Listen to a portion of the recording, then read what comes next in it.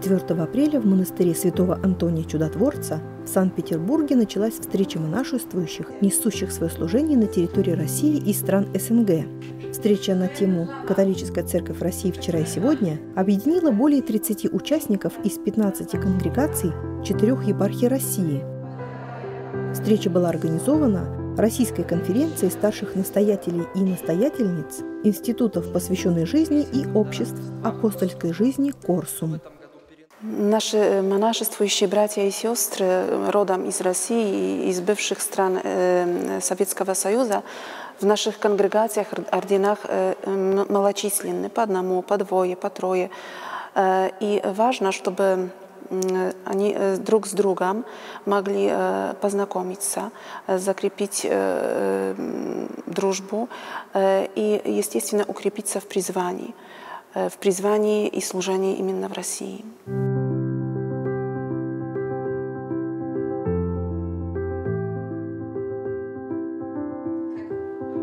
После краткого приветствия участникам встречи было предложено ознакомиться с методом запоминания Библии, известным как библейский речитатив. Встречу подготовили сестры семьи Мириам из Астрахани, приехавшие на встречу в качестве преподавателей.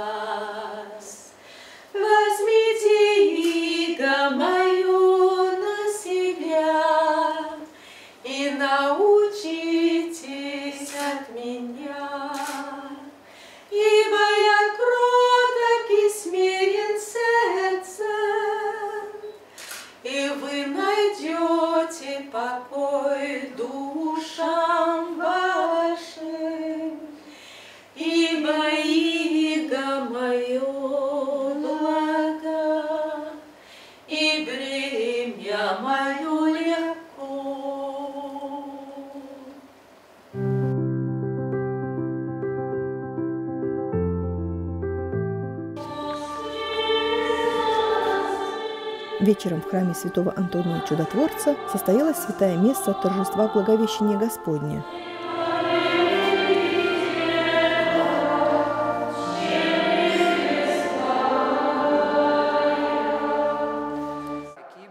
Отец Николай Дубинин в своей проповеди призвал всех монашествующих быть свидетелями единства божественной тайны. И мы, как люди добровольно и полностью себя Богу посвятившие, призваны быть прежде всего свидетелями вот этого единства божественной тайны, воплощения и воскресения. Пусть Господь нас наставляет, просвещает, пусть ведет и делает нас свидетелями и орудиями Его благой вести, Его безграничного милосердия. В конце Святой Мессы всех собравшихся порадовал своей игрой на скрипке отец Петр Корнелюк –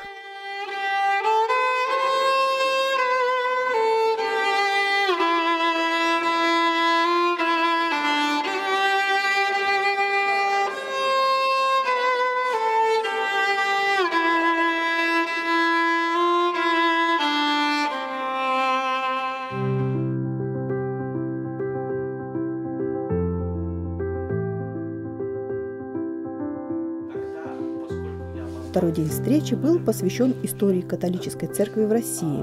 Своими знаниями в области истории поделился Станислав Козлов-Струтинский, историк и автор книги «История католической церкви в России». Петровского времени католическая церковь здесь, а от нее уже идет отсчет у нас непрерывного присутствия, в том числе латинского, до, до наших дней, потому что оно непрерывное действительно с этого момента уже совсем непрерывное с Петровского времени, с 1705 года. Но на самом деле я бы московскую и астраханскую общину тоже включил в этот ход непрерывного церковного латинского присутствия. Да? Потому что у нас есть Астрахань 1594 год упоминаний, и нет упоминаний, что эта община исчезла. Наоборот, в 1620 году она строит церковь.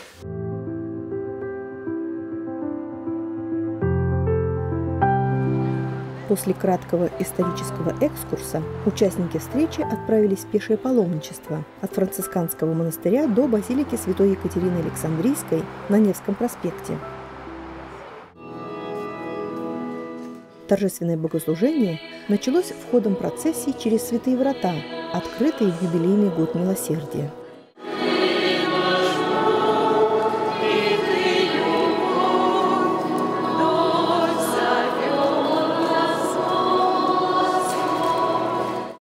Своей проповеди отец Юрий Дорогин размышлял о ценности жизни в общине для монашествующих и о том, какое значение община имеет для всей церкви. Давайте созидать церковь. Это единство в духе, в наших общинах, чтобы потом поделиться нашим опытом с другими.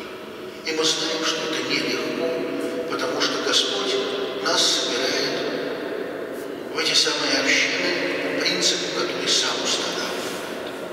Не мы выбираем себе братьев и сестер, но только Господь их нам дарует.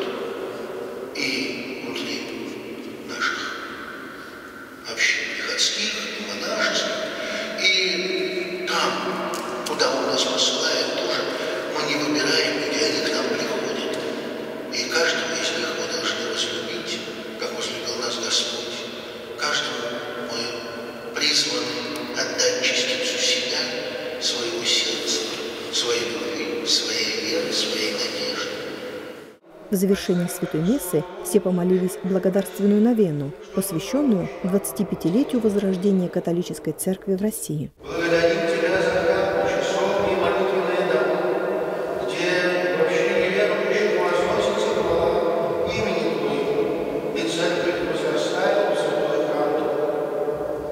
Далее Станислав Козлов-Струтинский продолжил свой исторический экскурс и рассказал об истории храма Святой Екатерины. С 1762 год началась постройка храма и завершилась в 1783.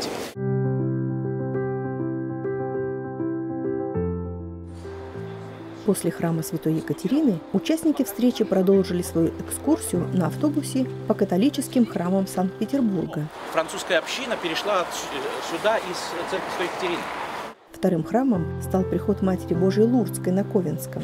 Этот храм долгое время оставался молчаливым свидетелем и знаком присутствия католической церкви в России даже в те годы, когда вера находилась под запретом. Здесь фактически этот храм стал последним храмом Ленинградской апостольской администратуры, который был в 26 году установлен.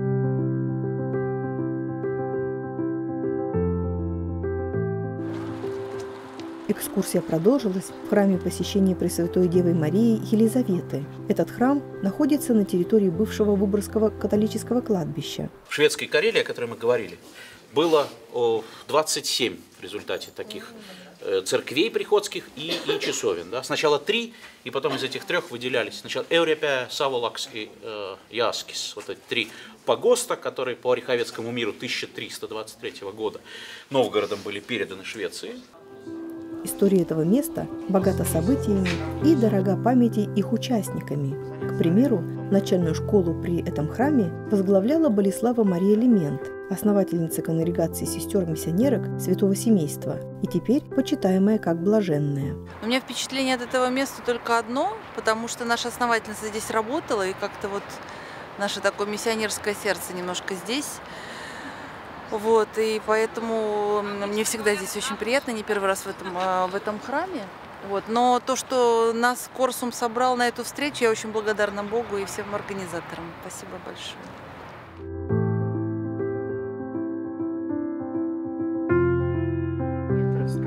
Также в этот день участники встречи посетили редакцию христианского радио «Мария». Сестра Анастасия Сальникова из общины сестер-служительниц Иисуса в Евхаристии поделилась со слушателями радио «Мария» своим размышлением, посвященным Году Милосердия. Когда-то я читала высказывание Падре Пио, что милосердие э, без любви, э, милосердие без истины может стать ловушкой дьявола. Э, поэтому нужно тоже очень быть внимательным, каким образом проявлять это милосердие.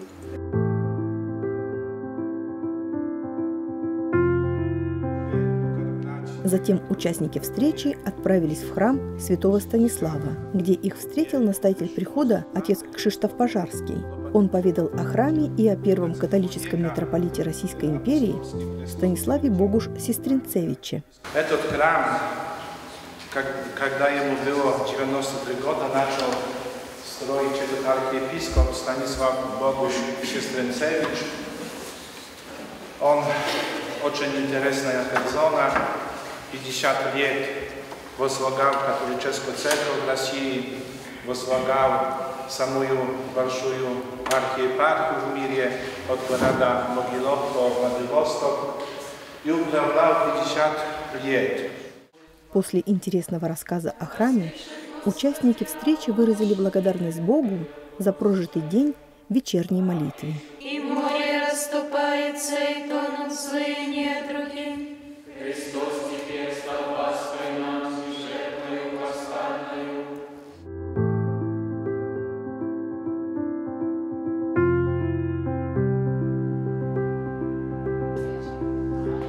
Третий день встречи участники продолжили в монастыре Святого Антония.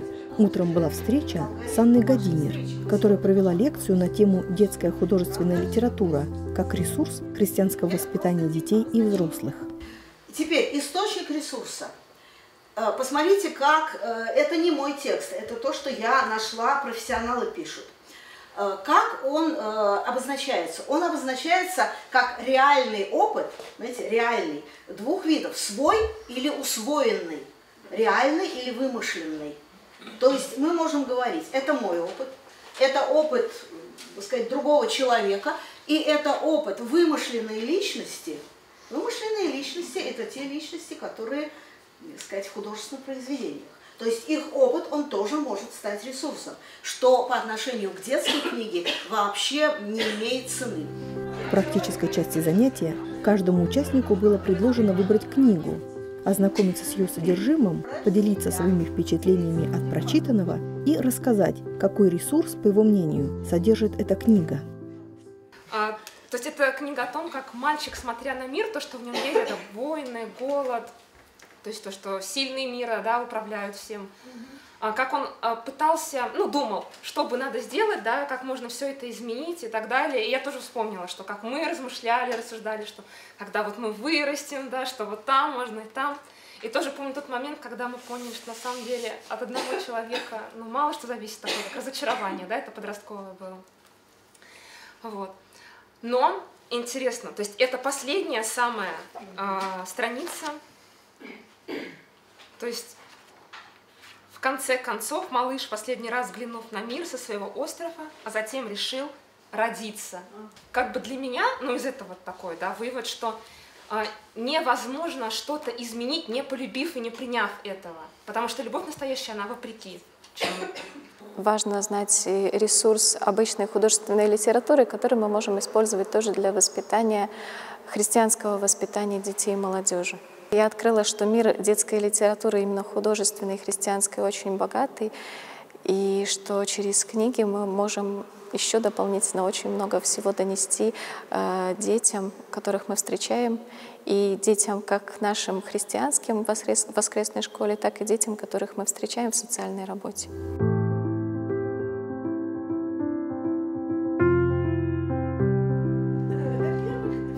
Вторая половина дня была посвящена встрече с психологом, кандидатом психологических наук Светланой Черняевой. Она представила вниманию собравшихся причины, симптомы и способы профилактики и преодоления синдрома выгорания. Ну, во-первых, первый симптом – это переживание психотравмирующих обстоятельств. То есть, когда человек просто работая или общаясь, чувствует, что ему плохо. Это, в принципе, только начало этого выгорания.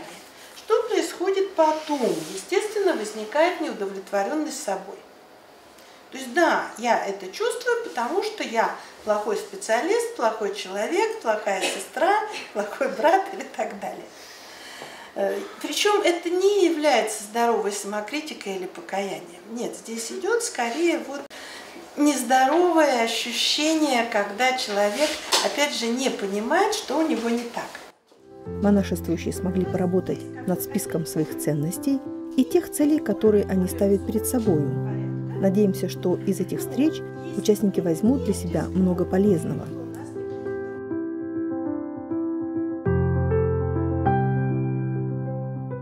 Из того, что представила Светлана Анатольевна, э, достаточно много полезных вещей для себя почерпнула. Хоть это и немного времени заняло, хотелось, хотелось бы побольше услышать на самом деле. Может быть, какие-то практические занятия даже э, в группах, чтобы были. Потому что это, э, я считаю, что довольно актуальный вопрос э, для людей призванных. Так или иначе, в общинах мы с этим сталкиваемся.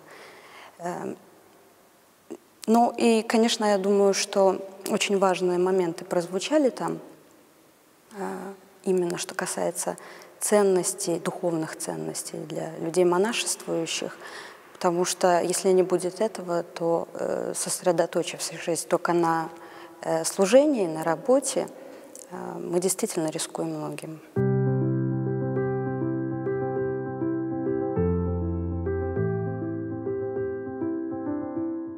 Утром четвертого дня встречи участники отправились в Великий Новгород, чтобы ознакомиться с памятниками старины и духовным наследием католической и православных церквей одного из древнейших городов России. В храме святых апостолов Петра и Павла состоялась святая месса, в которой предстоял отец Мариана Седана, а ему сослужили отец Николай Дубинин, отец Виталий Манцевич, отец Петр Корнелюк и отец Владимир Кабак.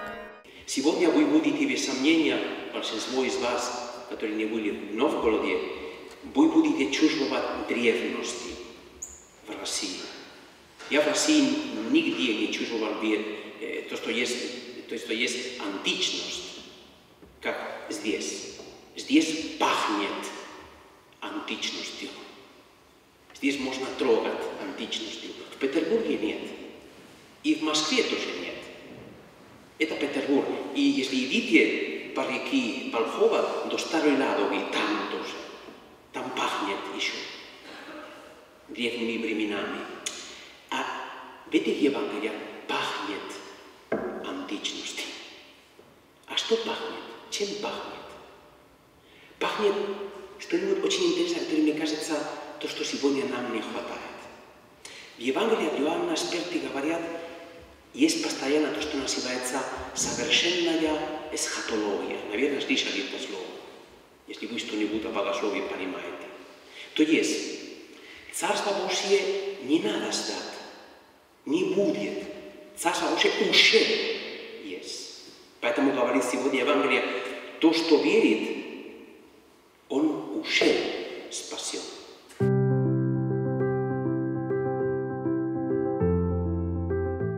Далее экскурсия продолжилась в Свято-Юрьев мужской монастырь. Юрьев монастырь с храмом святого Георгия в центре получил свое наименование от Ярослава Мудрого, бывшего в крещении Георгием, Юрием. Он по преданию и основал монастырь в далеком 1030 году. Храм святого Георгия самый древний сейчас в монастыре, это 12 век. А по некоторым источникам основание монастыря было в XI веке. 1030 год при Ярославе Мудром. Вот, это княжеская усыпальница в свое время, во время Новгородской республики. А все остальные уже постройки, здания, храмы – это 19 век. Расположенный в месте, где река Волхов вытекает из Ильмень озера, монастырь был одновременно и духовным оплотом княжеской власти, и крепостью – от колокольни, который вы проходили, спроектировано по проекту известного Зочи Росси, Карл Росси. Это известный архитектор и мастер своего дела.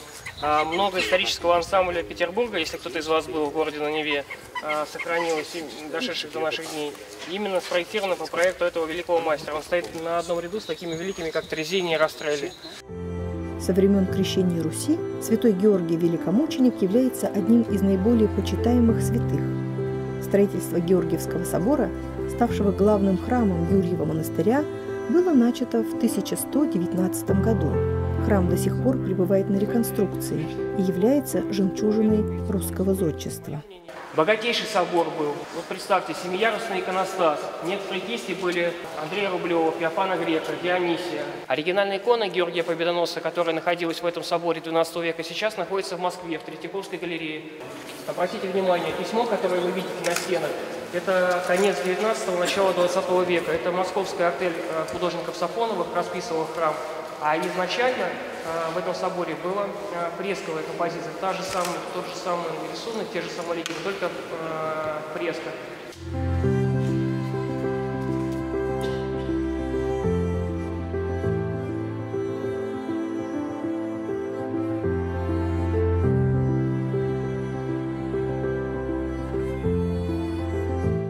От посещения этого храма внутри появляется чувство восхищения, что можно прикоснуться к древности, что я здесь, и что этой стене, ну, с 12 века, да, я с 21 и вот как будто, ну, два времени так соприкасаются друг с другом, то есть вот восхищение. На северо-восточной территории монастыря находится храм в честь воздвижения честного и животворящего креста Господня. Когда сюда пришел на намечество Артемадрид Фоти, известный такой э, деятель из Петербурга, в 1822 году он заступил на намечество, и когда он сюда пришел, монастырь практически был в упадке. И первые слова братьев было, когда э, после торжественного приветствия э, «Отче, э, хлеба нету, денег нету, э, завтра кушать братья будет нечего, э, что благословишь делать?» И вот практически заслужив рукава, он восстановил монастырь, заново его отстроил, и восстановил духовную и хозяйственно-бытовую часть, но не без помощи своей духовной дочери. У него была духовная дочь княгиня Орлова-Чесменская. Спасский собор Юрьева монастыря славится тем, что в настоящий момент здесь находятся мощи святителя Феоктиста, доступные для почитания.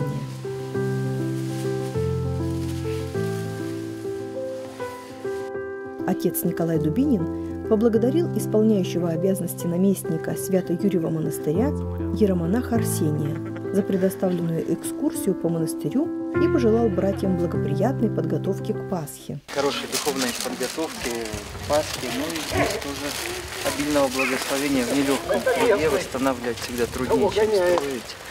Вот. И в духовном плане прежде всего, так что пусть Господь всегда будет с вами.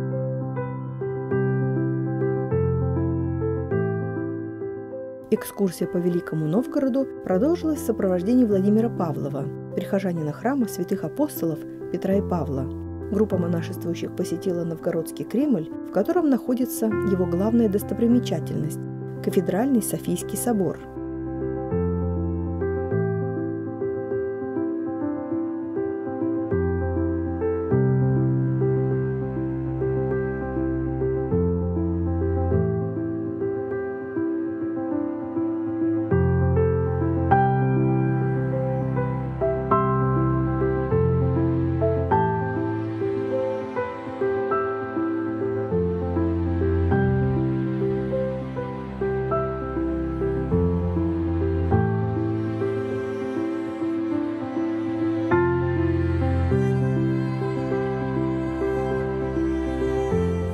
Встреча местных призваний завершилась святой мессой 8 апреля в монастыре Святого Антония. Это была прекрасная возможность собраться всем желающим и поделиться опытом своей веры, своего призвания, рассказать о своем служении и получить возможность укрепиться в выбранном пути и в служении Богу и народу Божьему, молиться вместе, строить планы на будущее и черпать силы из истинного источника милосердия.